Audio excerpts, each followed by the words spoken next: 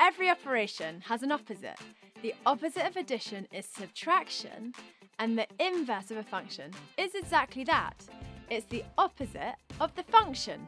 It undoes the function and returns you to the input. So for this function machine, the inverse would add 2 and divide by 5. So 13 add 2 is 15 and divide by 5 is 3.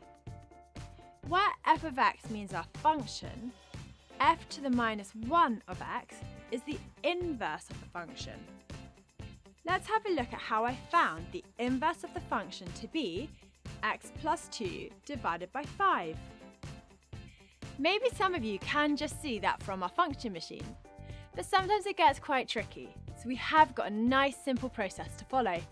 Start by writing the function as y equals. Switch your x and y's around so they just switch places.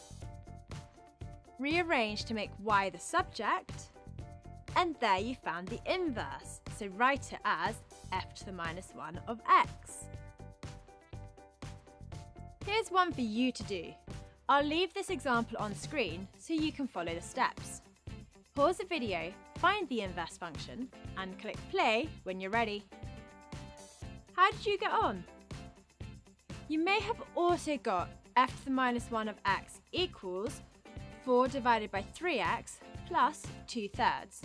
This is just because you did your rearranging a little bit differently. So here's another one for you to do, but this time without any steps on screen. Don't worry about this little bit for now, just ignore it.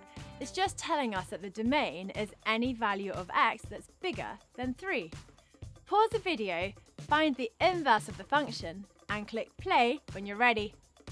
Did you get root x plus 3?